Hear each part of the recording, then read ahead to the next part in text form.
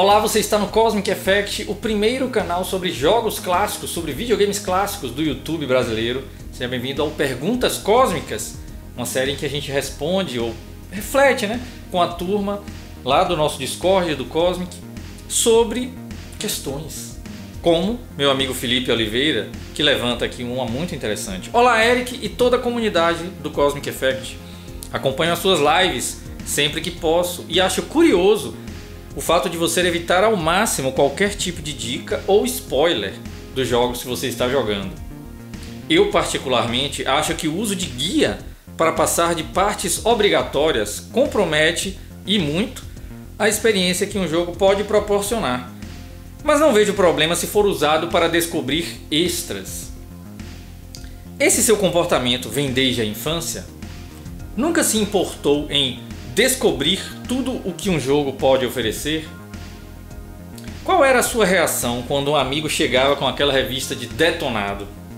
Abraços e espero poder acompanhar o seu trabalho até 2100. Grande Felipe, obrigado Felipe pelo carinho e pela, e pela, pela, pela viagem aqui. Ó, oh, então, o Filipão já, já conhece, a turma que acompanha as livres do Cosmic, CFX Livre, tanto no YouTube quanto lá na Twitch. É, sabe né, como a gente joga e tal. É, é, realmente é o meu perfil desde a infância, Felipe. Respondendo já essa, essa sua pergunta, interessante. É, é, essa não é exatamente a primeira, né? Não, é, é a primeira. Esse seu comportamento vem desde a infância. Que comportamento que ele cita? Que é jogar o jogo é, sem o spoiler, né? Hoje a gente chama de spoiler, né? Sem dicas. sim, é desde a infância. Eu eu me lembro que acontecia o seguinte. Eu lembro que quando um, um, a gente sempre jogava com amigos, né? Era comum jogar com amigos. Ou em locadora, aí é em grupo mesmo. Mas é claro que a maior parte do tempo eu jogava em casa, né? E aí, é, de vez em quando tinha um amigo lá né, com a gente. E eu lembro de situações em que o amigo conhecia o jogo que eu estava jogando e estava. É, é você compelido a mostrar que sabe sobre aquele jogo, você conhece aquele jogo. Né? Você está ali vendo uma pessoa jogar, seu, eu né, jogando e o meu querido amigo que está ali no, no, sofá do meu lado em 1989 ou 1991 e por acaso já jogou The Imortal do Mega antes de mim e por algum motivo ele zerou, quem sabe, ou pelo menos ele conhece bastante ali os puzzles então ele me vendo ali descobrindo, ele fica compelido a contar, né? É, é, é, é, é um sentimento que muita gente tem. E eu já não gostava. Quando, quando um, um, colega qualquer, qualquer situação dessa assim, que alguém tá te dizendo como, como é para jogar, eu me incomodava. Bom, isso deve vir. Eu comecei no Atari. E aí é, e a maior parte do tempo também era jogando sozinho, mas de novo jogava, é, especialmente no Atari, com irmãos, né? Ainda era uma coisa meio. O videogame estava iniciando, né? A sua jornada e era comum jogar em família e tal, ainda era uma novidade. Mas logo logo eu me apossei do Atari, assim, sabe? Eu, peraí, acordava 5 da manhã, domingo, e ia pro Atari, na sala, ligar o jogo que eu aluguei naquele fim de semana. Pra tentar melhorar meu desempenho. Eu gostava de jogar contra mim mesmo no Atari. Então vamos lá, pô, Quest. 100 mil pontos, não, dá para fazer 120 mil.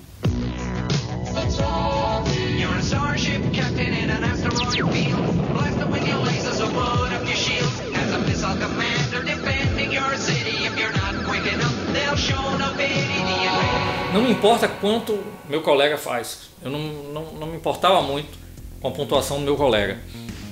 Eu me importava com a minha pontuação. Eu queria passar a minha pontuação. Aí contra mim mesmo. Isso no Atari realmente foi decisivo, talvez. Eu refletindo, né? Essa minha pegada ali no, nos jogos de Atari. Nos jogos de Atari você costumava lutar pelo score. O maior score. Nessa época realmente era importante aquele número. Ninguém dá bola ao score no NES, na geração do NES e na geração do Master System. Ninguém, eu não vejo, não vi ninguém anotando score em Master System. Nem mesmo eu, que vim do Atari. E quando eu digo vindo do Atari, porque muita gente jogou Atari. Não, eu conheci Atari, eu até tive Atari, meu pai teve um Atari, tem um cara mais novo, né? Aí o pai teve o Atari. Mas ele não mergulhou, ele não, ele não mergulhou no videogame, no acervo do videogame. Não é o meu caso, o Atari realmente, eu joguei o Atari inteiro. Eu mergulhei no acervo, eu fiquei fissurado pelo Atari, pelos jogos do Atari. Estou dizendo isso apenas para que, que você perceba que ficar fissurado no jogo de Atari é ficar fissurado em high score. É o high score. É aquele número que está ali em cima. Você tem que aumentar ele. Sabe? Spider Fighter. Eu não lembro meus scores de Spider Fighter. Mas eu adorava Spider Fighter. Da Activision. E eu lutava pelo score. O jogo fica agressivo, ele fica rapidão. E eu lutava por aquele score ali.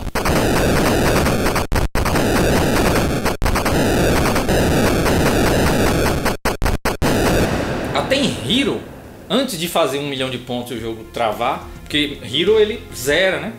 É, alguns jogos da Activision tem esse comportamento de, de, de um milhão de pontos, como Hero. Mas até eu fazer um milhão, certamente eu anotei, eu não lembro mais, mas certamente eu anotei os scores. Ainda que Hero é um caso à parte, é um ponto fora da curva no Atari, que ele provocava uma aventura, a sensação de estar tá, é, vasculhando as minas em busca de salvar os mineiros. E aí você meio que desconectava um pouco do score. Mas eu tenho vívida lembrança de ter anotado em algum momento ó, um valor de score de Hero na minha caixa do Atari. Eu não tenho caixa de Atari, queria ter. A caixa de videogame que eu mais queria ter é a do Atari da Polyvox, a caixa prateada do Atari da Polyvox, porque foi o meu primeiro, né? E, e, nessa caixa eu anotava scores. Eu e meu irmão, meu irmão também anotava. Acho que até mais ele do que eu. Anotava scores de jogos na caixa. Então a caixa estava repleta de, de, de, caneta, né? De, de escrito e é, com anotação, né? River Raid, Enduro, etc. O score. Então essa luta contra o próprio score lá no Atari, é, eu, eu, eu gostava. Eu gostava. Aí veio o, o Master, né? No fliperama, jogava fliperama também, mas no fliperama era tudo muito rápido, né? Fliperama é tudo muito rápido. Especialmente nessa época do Atari, que eu era bem pequeno, aí era complicado no fliperama. Então, atingir um high score no fliperama, é, já atingi, claro, e é, era massa, assim, porque, pô, fica lá, né? Fica lá o, o, o dia todo, né? Fica só, só durante o dia, né? É, e aí era massa, né? Mas, só que aí foi mais tarde que eu vivi isso num fliperama onde eu já era adolescente. Um fliperama de bairro, quem viveu o fliperama sabe como é que é um fliperama que você vai todo dia. Né? Você cria cultura com, aquele, com a turma daquele fliperama, com as máquinas, e aí, aí você gosta de deixar seu score lá, sabe? ERI, ou EJF, eu usava, né? ERI de Eric, né? E EJF, né? Que as minhas iniciais. Voltando, ó, você é mais específico para a coisa dos aqui, ó. Você comenta, deixa eu comentar o que você comenta. Eu, você Felipe, eu particularmente acho que o uso de guia para passar de partes obrigatórias, achei interessante você falar isso, compromete a experiência de um jogo. É, eu concordo absolutamente, né? Com você. Um jogo ele tem regras. A gente não pode esquecer disso. Isso é um fato. O jogo ele tem regras. O jogo é uma proposta, é uma coisa propositiva, não é uma obrigação. A obrigação é o seu trabalho, etc e tal, né? É, o, o jogo ele não é uma obrigação, ele é uma proposição. Lembre sempre disso, é uma coisa propositiva. Você alguém propõe regras. Dentro dessas regras, você tem que jogar dentro dessas regras. Você tem que é básico, é obrigatório, você tem que respeitar aquelas regras. Você pode até empenar as regras no jogo eletrônico e, e em qualquer outro jogo. Você pode empenar, veja a palavra que eu estou usando, empenar, mas você não pode burlar, você não pode trapacear. É, aí, o, que, o que é esse não pode? Né? O que é esse não pode? É a proposta do que é um jogo. Essa é a, a lembrança, é uma questão. Estou convidando vocês, a você, Felipe, todo mundo, à reflexão. Lembrando, o jogo de xadrez, pega o jogo de xadrez, é uma proposta alguém, eu não sei quem, propôs aquelas pedras. existem as regras, né, que são Cada pedra tem um movimento diferente. Para quem não conhece xadrez, é, acho que muita gente não jogou xadrez, né? Cada peça do xadrez, lá o rei, a rainha, o bispo, eles se movem diferente no tabuleiro. É, essa, alguém propôs isso em algum momento da história. Né? Isso, veja que o xadrez até hoje é uma coisa muito, né? É um jogo muito importante, né? E alguém propôs essas regras. Você, para jogar xadrez, tem que ser nas regras que foi proposto. Você não pode adulterar essas regras. Senão não é xadrez. E é a mesma coisa, se você quer jogar Enemy, você tem que jogar nas regras que o autor deste jogo, é um jogo, propôs. Os jogos eletrônicos, eles são várias regras, várias proposições. Mas lembre, proposição. Alguém só propõe, não te obriga. Apenas propõe. eu proponho essas regras. Você quer, quer experimentar a minha proposta de regras? Como alguém experimentou jogar xadrez um dia né, e se apaixonou. Teve gente que se apaixonou pelo xadrez. Teve gente que acho que não gostou do xadrez. Porque é uma proposta, não é uma obrigação. Então, essa proposta é a maneira, se você seguir, ou melhor, se você respeitar, vamos usar essa palavra mesmo, se você respeitar essa proposta do, do propositor das regras, que seria o criador de um determinado jogo, se você respeitar essas regras, você vai estar se comunicando, de certa maneira, com a pessoa que propôs o jogo. É, existe uma comunicação aí, você se conecta com a pessoa que criou o jogo. Mas é que os jogos são produtos da indústria do entretenimento, são feitos por pessoas, né? não esqueça. Continuam sendo, até hoje, até Cyberpunk, né? É feito por pessoas. God of War, Ragnarok, é feito por pessoas ainda. Ainda é, ainda são seres humanos. Você se conecta de alguma maneira. Claro, são várias pessoas, né? Pô, desde sempre, até os jogos são. Até o Atari tinha jogo que era feito por mais de uma pessoa. Mesmo no Atari. Então você mas você se conecta com pessoas através das regras do jogo. Se você burlar as regras, né? se você, por exemplo, como você coloca aqui, usar um guia, o que é usar um guia, né? É você é, se prestar a não jogar o jogo que você está jogando. Que interessante. Ué, mas eu estou jogando, Eric, só que com guia. Não, nesse momento, quando você está com guia, você não está mais jogando você não está mais nas regras, você não está mais quebrando, descobrindo as regras ou jogando dentro das regras, que é o, é o importante. E veja, isso é crítico. É crítico para que o jogo, o jogo eletrônico, né, que é o nosso assunto, aconteça para o jogador plenamente. É, de novo, que você se conecte com o criador daquele jogo. Esse, esse, é, um, esse, é, esse é um objetivo. Né? Eu não sei quem criou o xadrez de novo, mas quem gosta do xadrez, você tá entendendo? Quem gosta, tem deve ter alguém que adora xadrez. Não deve ter alguém? Deve ter. Pô, adoro esse jogo. Se, se você disser, pô, você adora xadrez, ó, e, é, é, fui eu que criei, eu, Eric. Exemplo. Fui eu que criei o xadrez. Aí, pô, foi você? O cara é, pô, deixa eu te dar um abraço. Que legal, entende? Ele se conectou comigo através da, é, do, do jogo que eu criei.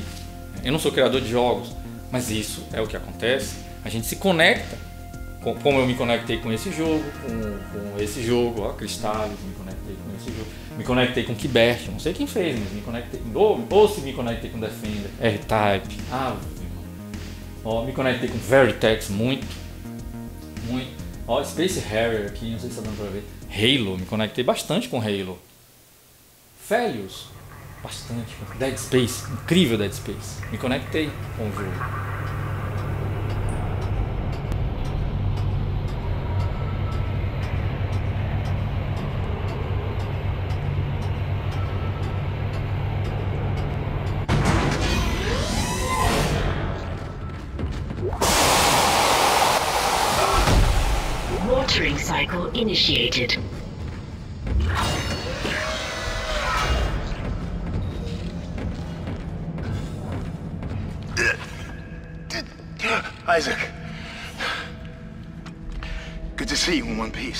Mas aí você segue dizendo que não vê problema usar o guia se for usado para descobrir extras do jogo. Você botou extras entre aspas, ficou bem claro o que você quis dizer. Que seria o seguinte, né? Por exemplo, depois do cara zerar o jogo, aí você vai lá e vê os guias. Vê o guia, vê e, e daí descobre os extras. Aí você botou entre aspas porque é, esses extras eles não fizeram parte do seu jogo. A sua aventura. E aí agora vem um pouco dos jogos de aventura que surgiram mais depois do Atari. É verdade, é verdade. Mais depois do Atari isso aconteceu. Então a gente vai colocar que a partir do NES e do Master System, mais até do que no Fliperama, por conta das questões do jogo de azar, né, que é o Fliperama, que tem esse elemento, né? Se concentrar no NES no Master System e nos microcomputadores é, que, que continham jogos, que tinham jogos, nessa fase que é os anos 80, né? A aventura começou. Jogos de aventura, grandes aventuras. Jogos de aventura. Em geral, de vários gêneros, mas jogos de aventura. É, Estou usando né, uma aventura bem genérica, porque todos, todos nós compreendemos onde eu quero chegar nesse tipo de jogo. Nesse jogo tem, normalmente jogo de aventura, tem extra, como você colocou. Tem algo que você não descobriu. Você jogou todo, zerou, né? Viu o final, viu os créditos, mas tem alguma coisa que você não descobriu. Fica lá. E ficou lá. Aí você depois zerar, vai lá e vê o guia. Como você, Felipe, faz isso. Mas ao mesmo tempo você enfatizou, né? Que é você, a parte obrigatória, como você bem colocou, eu entendi. Parte obrigatória do jogo, né? Que seria. A gente pode imaginar a, a campanha padrão do jogo, digamos assim. Aí você já considera que para você, né? Trapacear, é uma outra palavra para olhar o guia, Aí, pô, mas é trapaça, né? Muito pesada essa palavra? Não, é uma trapaça. Por que uma trapaça? Não é uma trapaça que vai lhe prender, você não vai preso. É isso, de novo. O jogo é uma proposta, não é uma obrigação. É uma proposta, é entretenimento. Né? Então é uma proposta, apenas isso. Você pode trapacear, você vai fazer o que você quiser. né? não, é, não, não, se trata do que você tem de fazer. É, se trata do que é o jogo. Essa é, a, é o que é o jogo. Estou bem filosófico, né? indo, no, indo no princípio da questão. E aí, quando você trapaceia, sim, olhar o guia é trapacear, né? é fato. Por quê? Porque aí você jogou fora das regras. Você saiu da proposta. O autor do jogo, eu já conversei com o autor de jogo. O autor do jogo ele quer ver você descobrir. Pô. É por isso que ele coloca os segredos ou as dificuldades a coisa mais simples, ele quer ver você detectando o padrão do chefe. Lembre-se quando você fica fera em um determinado chefe, o chefe fica fácil. Mas a primeira vez aquele chefe foi impossível. Pô, a gente pode usar um exemplo moderno aí, fácil, né? A From Software. Especialista, né? O Miyazaki é um gênio, ele e, a, e o time dele, né? De criar padrões incríveis, espetaculares em três dimensões. Pelo menos na minha visão para jogos de aventura. Tem, tem chefes em, em, em, em, nesses jogos da From Software que são incontáveis, são batalhas incríveis, espetaculares e de alto, de alto nível de desafio. É, é, difícil até se você usar um guia, né? Eu, eu, por conta da execução, é um jogo de ação, né? Então a execução, mesmo você com sabendo o que fazer, a execução ainda assim vai, vai ser difícil. Mas você vai quebrar um, um grande uma grande, uma magnífica etapa do seu próprio entretenimento, que é você mesmo identificar o padrão de combate para matar aquele chefe. Você mesmo, né? Você sozinho. É isso que Miyazaki quer. É isso que todos os criadores desses jogos de aventura quer, querem. Querem que cada um, né? É, se entretenha com o desafio. Todo jogo é um desafio. Fato isso também, né? É muito simples, né? É um jogo, né? Isso é, é sempre um desafio. É um desafio para o jogador. Quando você trapaceia, você coloca esse desafio um pouco de lado, né? Você spoila na palavra do inglês aí, né? Do spoiler, você spoila o seu próprio entretenimento.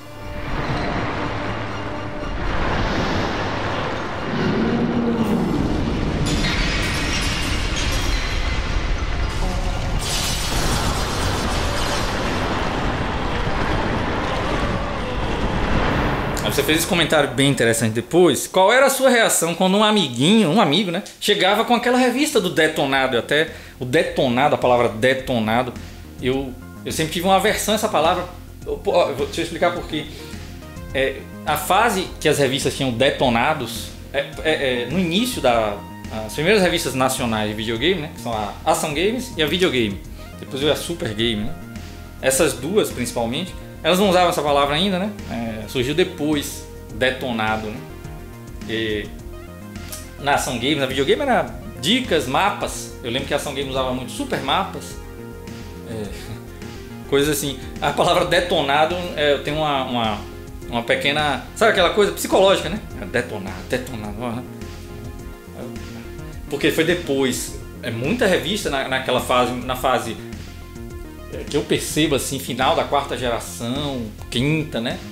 Aí tinha as revistas de detonado, acho que a revista até deve capaz de ter uma revista só detonado, né? Detonado. Só detonado. Acho que tem vem alguma, né? Detonado. Né? E, e, não, é, eu não. Você citou uma situação interessante, que seria um, amigo chegar debaixo do braço, assim, em casa, lá com a revista, né? Com um detonado de. Não, vamos jogar aqui. É, vamos jogar Phantasy Star aqui, eu tô com um detonado de Phantasy Star. Não? Por exemplo, aí eu citei Phantasy Star. É, no meu caso eu tive o Master, né? eu não tinha o Phantom. Então, é, Phantasy Star foi o primeiro RPG gigante que eu joguei. Ele é gigante, ele é gigante, é um jogo gigante. Até hoje. E aí é, eu, eu zerei ele em inglês, né?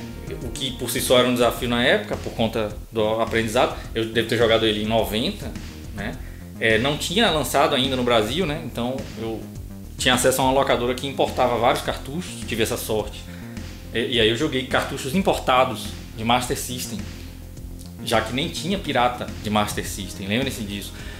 A seção da a locadora era lotado de jogo de Phantom System, que era como eu conhecia na época, né? Jogo de Phantom, porque um colega meu tinha Phantom. E jogo de, de Master System. A seção de, de Phantom era maior, né? E tinha um monte de cartucho pirata, né? A sessão de Master não, né? Porque não tinha cartucho pirata de Master. Mas essa locadora trazia importado. Então caiu o Star no meu colo. Eu fiquei fascinado e zerei. Foi uma luta, muitas locações, né? É, e eu fiz mapa, né? Eu lembro de ter feito mapa. É, eu tive só acesso ao manual do jogo, em inglês. Que eu acho que não tinha muita coisa. Não lembro mais. E a, a, essa experiência eu vou carregar comigo para sempre. Por conta de ter vencido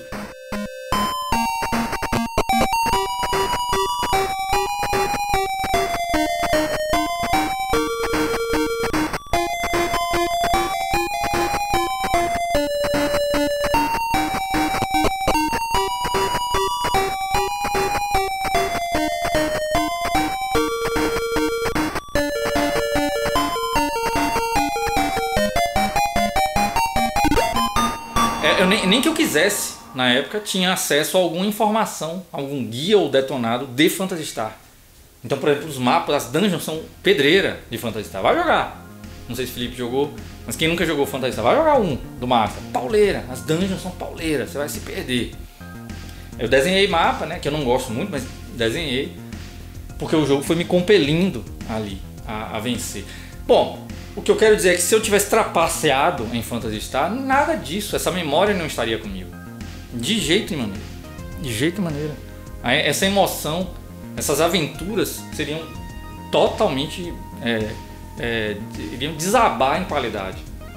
Desabar em qualidade. Por exemplo, ó, eu nunca vou esquecer do dia em que eu, é, numa dungeon lá, eu ficava caindo, né? Você vai andando na dungeon e você cai, pum, você desce pro andar de baixo. Do nada assim. Você vai andando, vai andando e pum, ele desce. O personagem desce na dungeon. Eu nunca vou esquecer do dia que eu descobri que tinha uma magia chamada Trap do Miau, né? Que é o gatinho. Trap. Aí você usa essa magia. Eu acho que talvez o manual explicasse, eu não lembro mais.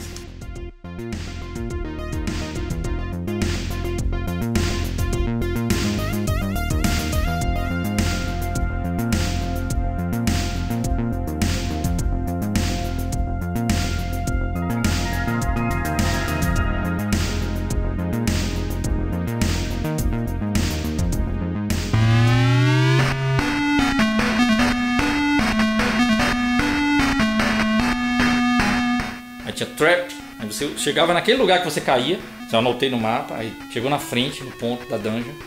Aí você usava trap, né? A magia trap. Aí desarmava, era uma armadilha, desarmava a armadilha, aí você passava. Porra. Sabe? Eu vivendo, você vivendo isso em 90, 1990, eu tinha 12 anos em 90. Era assim, mágico, bicho. Era assim, meu Deus, eu devo ter gritado em casa e ninguém entendeu nada. Né? De felicidade ali por ter passado por aquilo. Então essas aventuras, isso eu tô falando um exemplo, em, é um, são um milhão, um milhão. Eu vivo isso até hoje, essa é a questão. Isso é no 1990, eu vivo isso em 2023, que a gente tá, né? Eu vivo isso, igualzinho. E aí eu vou dar um exemplo. Final, até interessante, ó. Eu não costumo rejogar muito, né, os jogos, mas o Vermilion, eu deixei até aqui, ó. O Vermilion é um jogo de coração, é um RPG de Mega. E eu joguei com a turma agora, ao vivo, não sei se o Felipe viu. Agora é, é bem recente. Joguei até o final de novo, né? E tal. Só que eu já zerei ele muitas vezes. Eu conheço ele cabo a rabo. Sou um bom jogador desse jogo aqui. Né? É... E eu tenho isso aqui, que é o Hintbook, né? Que acompanha, acompanhava o jogo. Um Hintbook. É... E nesse Hintbook tem os mapas, né? Tem os mapas, só que os mapas não tem onde a posição dos itens nos mapas. E aí eu mesmo, né? Há muitos anos atrás, é, coloquei. Eu tinha esse handbook, aí eu fui. Já tinha jogado o jogo várias vezes, aí eu fui mapeando cada posição, cada item que eu descobria. E tá aqui no meu mapa, escrito de caneta, né? É... E aí, estava eu jogando com a turma. Cheguei na última cidade do jogo e encontrei um item secreto. Agora. Né? Agora em pleno 2023, em vermelho. Aí foi o máximo para mim. Poxa, que legal. Encontrei um item secreto no jogo. Ainda tem outros itens até soube que tem outros itens secretos no jogo, mas encontrei um que parece que não está documentado. Não, não tenho certeza, eu mesmo ainda não olhei. Mas uma das pessoas que estava na live deu uma checada e não achou. É uma erva, né? uma, uma erva item de life, né? recuperar HP. É uma erva até infinita, inclusive. Uma coisa até estranha no jogo. Eu nunca vi nenhuma posição no vermelho que você pode pegar um mesmo item infinitamente. E aí existe. É, achei isso. Aparentemente, eu me lembro que olharam rápido e disseram, né, parece que não tem na internet essa informação. Porque, claro, Vermelho não é um jogo muito popular e tal, né? É só por isso que não tem, entendeu? Mas olha que interessante. Como eu continuo jogando, mesmo um jogo que eu conheço, continuo jogando. Ó, a turma lembra que tava vendo na live. Eu tenho os mapas todos aqui, né? Com meu, meu, meu mapeamento de itens. Mesmo assim, eu tava joguei essa partida com a turma aí, levou umas três semanas até zerar. É um RPG, né? É, sem olhar o meu próprio hintbook, o meu próprio mapa, os meus próprios mapas, né? aproveitando e me divertindo de novo com o, o, labirinto. Eu gosto de labirinto, então eu mesmo não estava usando o que eu mesmo mapeei, né? No passado, né? para justamente é, extrair mais entretenimento do próprio jogo ali, e extrair sem dúvida. Ainda mais jogando com vocês. Aí foi maravilhoso. Jogar um jogo do coração com amigos, que são vocês, é fantástico, isso é fantástico. Tenho feito isso é, de vez em quando, assim, e quero fazer mais até, viu, turma? Né? Jogar alguns jogos do meu coração, não para necessariamente mostrar o jogo para vocês, mas para a gente ter essa troca. E claro, algumas pessoas descobrem, por exemplo, o próprio Vermilho. Eu acho o Vermilho um RPG sensacional. E eu, é, pra mim, né? Claro, né? é pessoal, a relação pessoal com o jogo. Para mim ele é maravilhoso. Algumas pessoas vendo a partida também, né? É, curtiram assim e tal, acharam o jogo interessante e tal, é, as músicas assim, né? E, e o jogo mesmo, né? o próprio RPG a história e tal. É massa, se você insistir, Zé vira uma grande aventura. Aí, Danilo, sua música, Danilo. Você chega a primeira vez aí,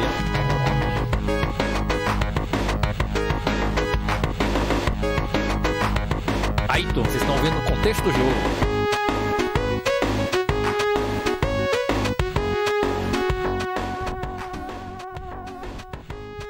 Seja o Cosmic Effect junto conosco ao se tornar Patreon http patreon.com Eric Fraga.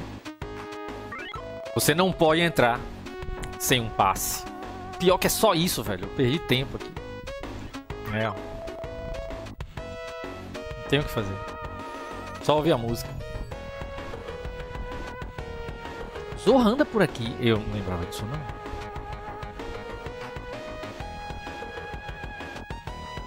Aí, Danilo. Exatamente, seu PSR.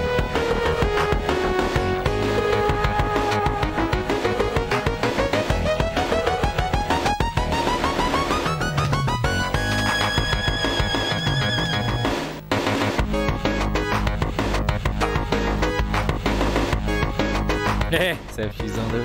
CFX mesmo, né? Com o personagem. Anda sobre as águas. Não lembrava disso, velho. Eu nunca tinha vindo aqui.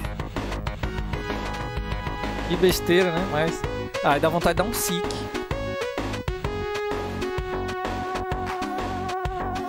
Dá um sick.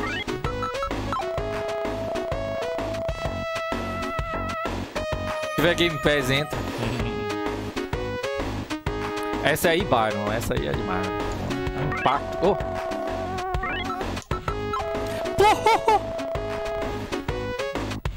Será que tá documentado? Puxa, eu vou tirar outra foto. Caramba, velho, tem erva aqui. Que inútil nesse momento do jogo. Poxa, que massa. que inútil. Erva aqui. Erva é o item que restaura menos life. Rapaz, que legal. Deixa eu tirar uma foto aqui.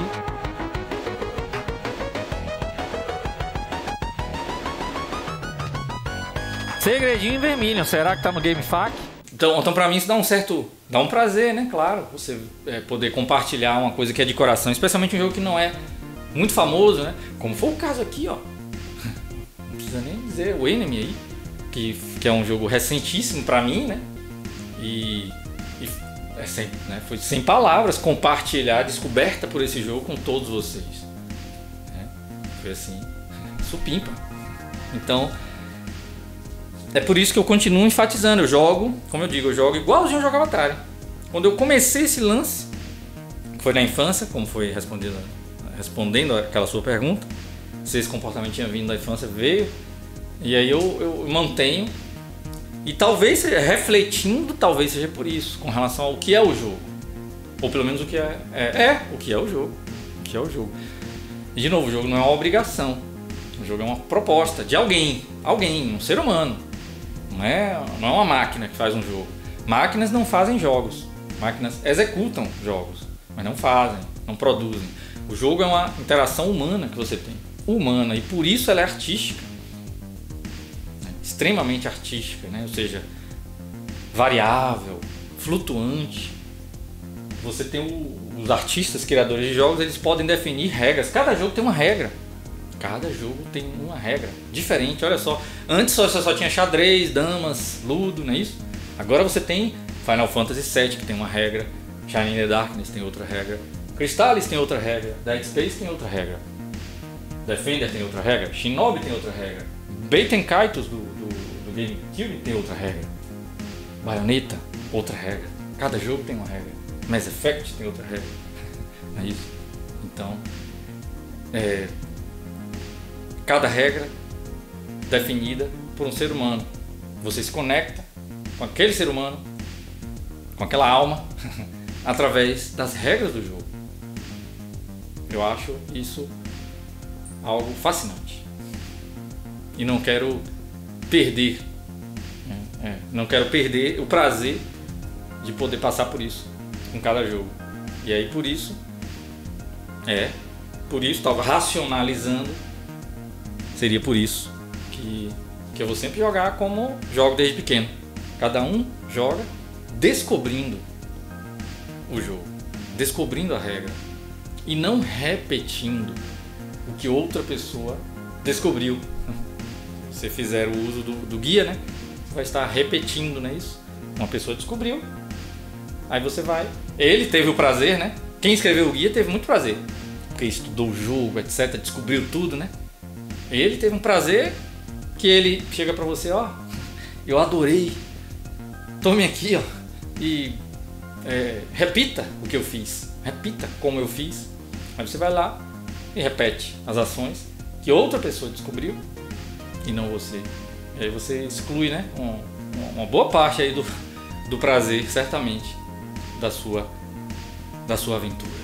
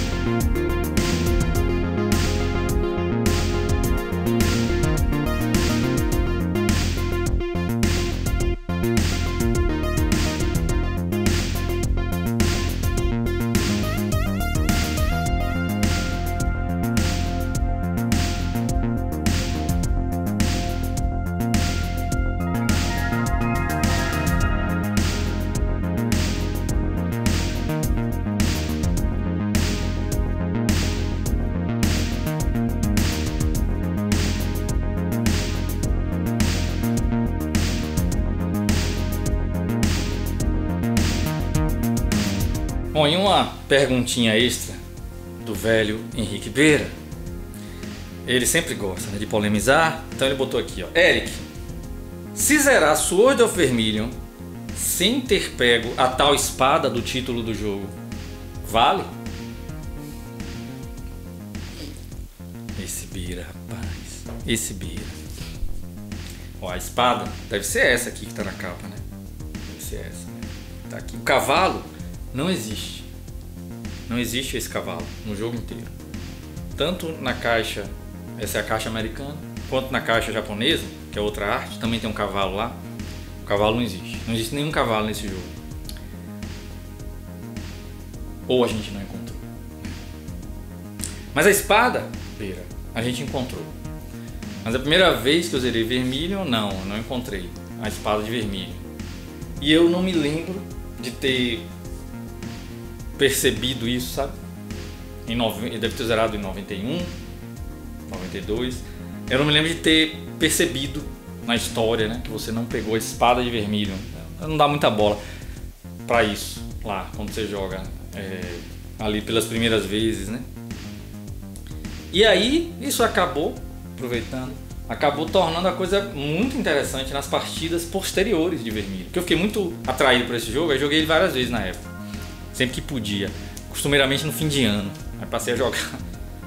E aí é, existe uma quest muito, uma quest alternativa, né? Ou, é alternativa, né? É opcional, digamos assim, nele, que é a que você obtém a espada de vermelho, que dá título ao jogo, né?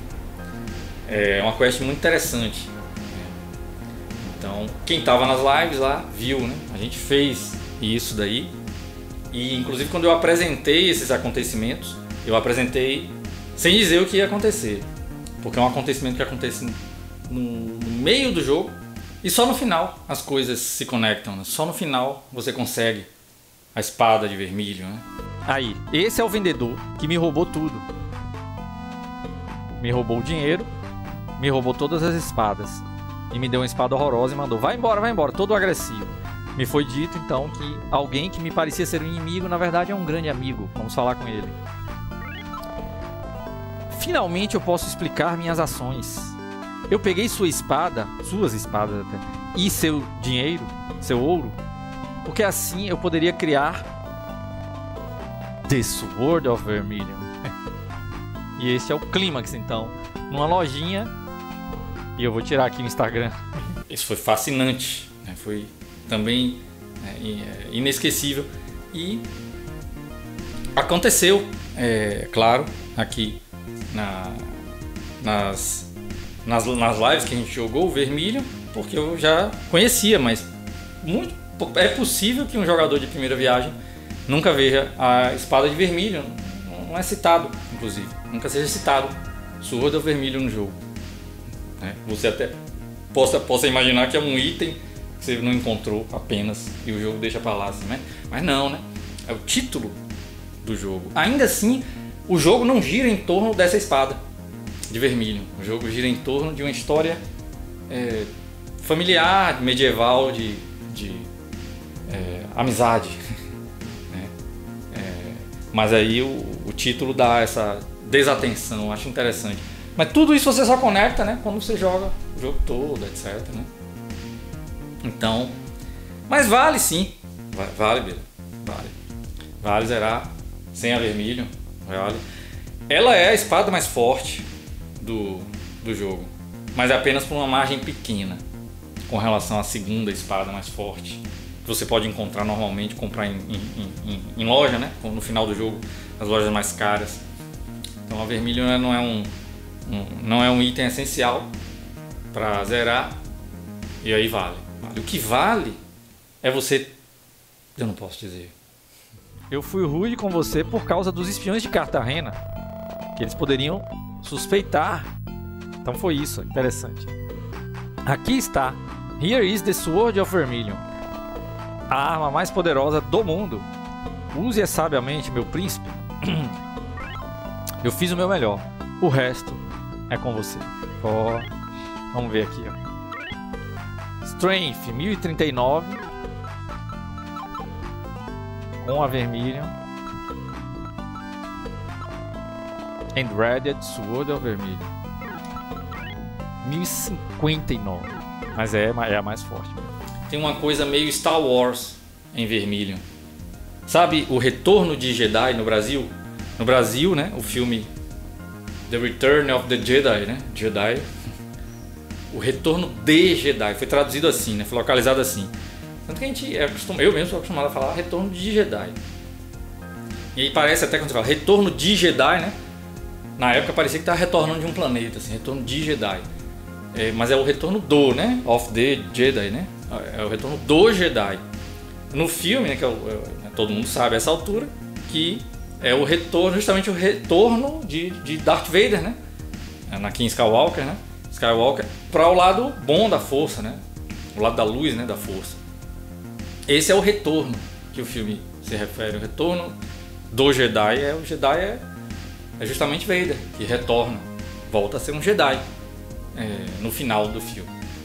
Spoiler, né? E e de certa maneira muito não é a mesma coisa, mas é nessa linha também, né? Que acontece em vermelho. Quem estava lá viu. Quem estava lá viu. Sarkon. We are coming for you.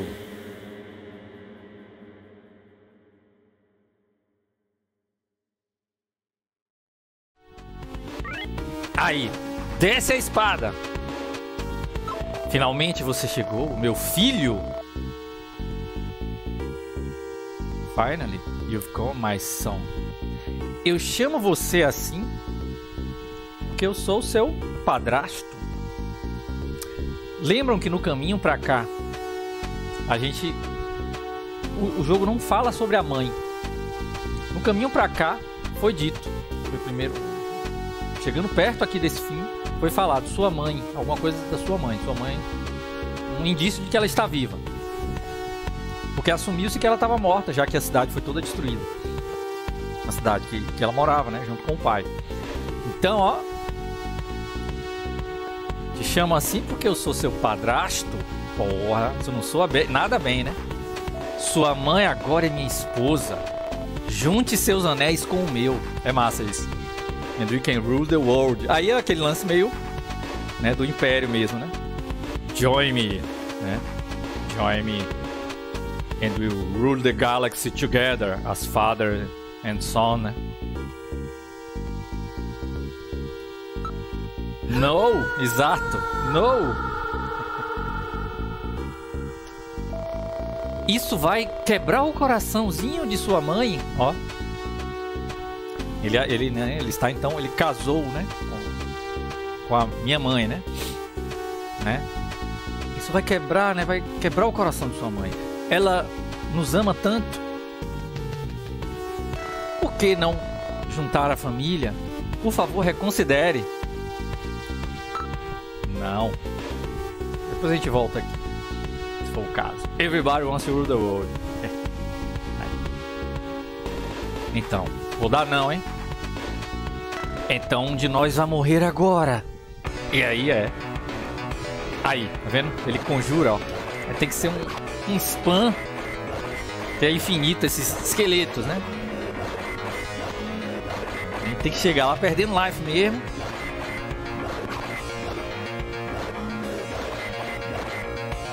Uma hora que ele.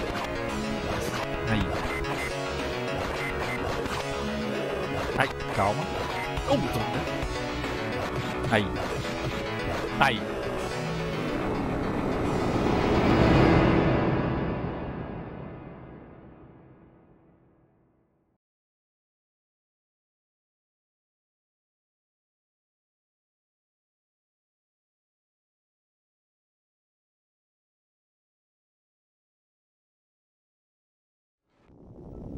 É claro, né? Giger!